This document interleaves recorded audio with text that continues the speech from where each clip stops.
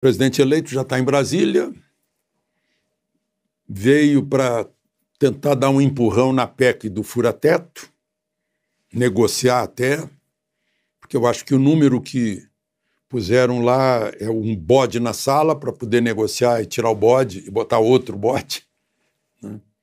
É, pelos cálculos que eu vi de um envolvido no mercado, que já foi da equipe de transição de Lula, em 2003, no primeiro governo, Beni Parnes, ele diz que é quase três vezes e meia o que se economizou com a reforma da Previdência, o que vai ser de fura-teto nos próximos quatro anos.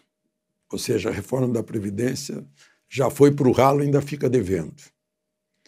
É, ele mostra também que, graças a essa regra áurea de equilíbrio fiscal, o, derrubou a inflação e derrubou os juros.